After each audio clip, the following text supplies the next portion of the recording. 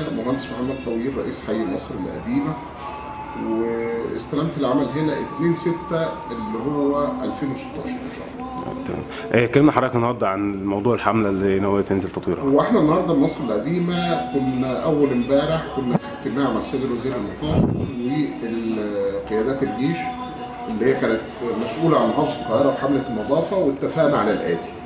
إن كل حي إن شاء الله النهارده يشوف المتراكمات القديمة اللي عنده من رطش وخلافه وعاملة له مشاكل في الحي بتاعه عايزين نشيلها نهائيا.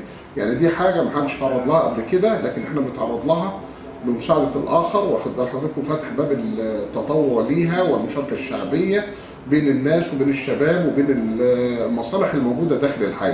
يعني أنا على سبيل المثال مثلا عندي المشاركين النهارده اللي أنا خدت موافقتهم ثلاث أربع مشاركين وهي كلها شركات محترمة جدا وبتأدي عملها داخل الحي ويهمها إن الحي يبقى شكله نظيف وحلو وما يبقاش فيه أي معوقات لا مرورية ولا في النظافة ولا غيره لأنه النهارده الأهم حاجة إن متراكمات القمامة وبالذات الرطش والحاجات اللي هي مخلفات المباني دي بتعمل لي إعاقة غير عادية المواصلات ما بتمشيش وبتتعطل وفي نفس الوقت بتبقى منظر حضاري مش حلو يعني إن أنا يبقى في مكان ملوث أو في حاجات مش حلوة أو كده فطبعا ده كل ده بيأثر على البيئة وبيأثر على الناس اللي ساكنة والكلام ده كله يعني.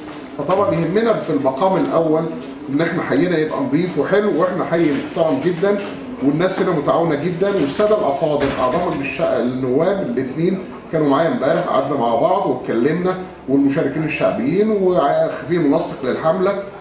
دي أستاذة في جامعة القاهرة كلية الطب الدكتورة منى العقاد أخت عضو مجلس النواب وإنسانة نشيطه جدا معانا إحنا الثلاثه كحملة وإن شاء الله الأمور هتظهر بالمظهر الحضاري الجميل قوي وهتظهر مصر القديمة بصورة ثانية خالص.